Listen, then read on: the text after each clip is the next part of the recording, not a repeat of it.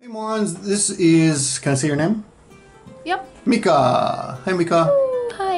And these are Mika's nails. Yeah. And this is the year of the sheep, Uh huh. right? So check it out. Look at that. And you want to explain what these are? What's other? What's this one? This is just a Just Decoration? ribbon just a ribbon. and Another sheep. another sheep. Look at that. And a heart. Heart. Romantic. What's that? Is that a ribbon? This Yep, ribbon. pink And the same ribbon. on this hand too. And Ribbon. pink and gold is lucky color. Pink and gold are lucky colors. So goldy pink.